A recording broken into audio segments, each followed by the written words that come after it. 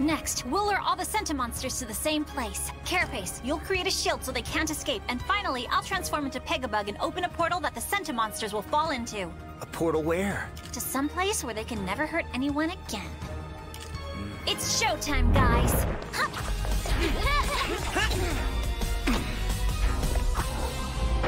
Shelter!